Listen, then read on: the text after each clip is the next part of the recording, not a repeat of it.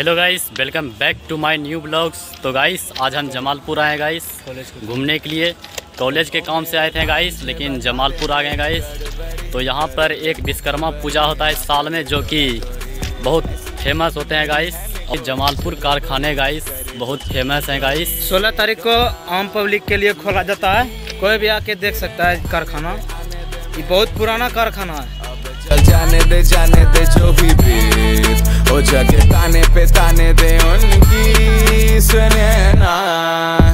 चलते हैं लिफ्ट के अंदर उसके बाद हम ऊपर चलेंगे। अरे सारी उम्र ना गवा दे मितवा क्यों सोचे बादल खड़े हैं जबकि वो तो रुके हैं क्योंकि बारिश तो आनी है ना। गाइस कंट्रोल रूम का यहाँ कॉन्टेक्ट नंबर है guys hello control room guys यहाँ पे कॉल कर रहे हैं। चलिए गाइस अंदर चलते हैं लिफ्ट के बाद उसके बाद फिर ऊपर जाएँगे गाइस नीचे जाएँगे नीचे नीचे। अब नीचे अंदर।